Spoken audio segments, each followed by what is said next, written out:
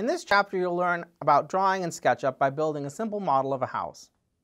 I'll provide step-by-step -step instructions on how to use the basic drawing functions, including creating lines, planes, and rectangles, and how to use the push-pull tool.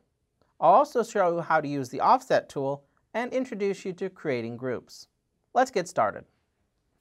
First, a few basics. Begin by selecting the Line tool, which looks like a pencil, from the toolbar and try drawing a line. To do this, you'll need to select the first point and a second point.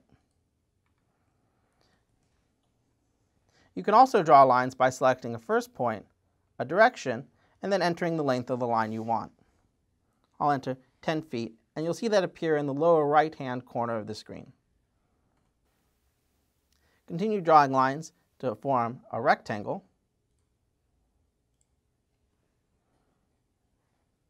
And you'll notice how when lines form an enclosed area, a plane is created, which is the dark shaded area inside of the lines. Lines and planes are the two basic elements of SketchUp models. Planes can be manipulated using the push-pull tool, which you'll find on the toolbar. Select the tool and the plane, and drag up to create a box.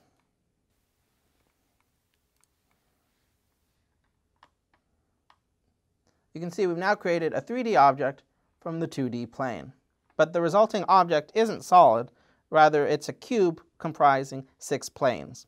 You can see this by selecting and erasing one plane to look inside. Selecting and erasing lines also erases any planes that are defined by those lines. Now let's create the foundation for our house. To create the base, begin by drawing a line starting at the origin point of the axes and drawing along the red axis for a distance of 36 feet. Do the same thing along the green axis.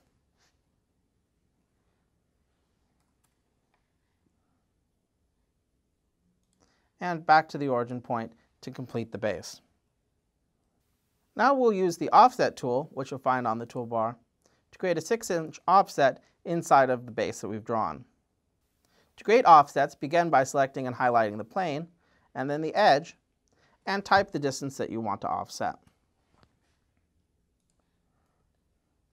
You can see that this creates another rectangle inside the, the rectangle we used as our base. Now using the push-pull tool, we'll extend that outer area and pull that up two feet to create the foundation for our house. We can select and delete the interior area. Remember to click just once so that you only have highlighted the plane. If you double click, it'll highlight the plane and bounding edges. We just want to erase the plane and preserve the outer edges of our foundation. Now I want to select the objects we've just created and create a group. To do this, click and hold down while dragging across the screen. Dragging left to right only includes objects that are fully included in the selection area. If you click and drag from right to left, it will include any object that's included in the selection area. Right-click and select Make a Group. This bunches the lines and planes together as a single object. Now the lines and planes that we've selected will be grouped together as one object, and we can continue to complete our model without affecting what we've already created. Next, we'll create the floors and walls. Using the Rectangle tool, create a rectangle 36 feet by 36 feet, and you can do this on top of the foundation. Using the offset tool, we will create a 6-inch offset again. Using the push-pull tool again, we'll extrude this exterior wall to a height of 10 feet. Now we'll select and group the walls that we just created. Double-clicking selects the plane and its bounding edges, and triple-clicking selects everything that's touching or associated with that plane that's not part of another group.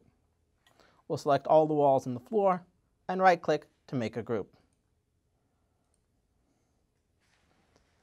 This is the end of the fourth chapter.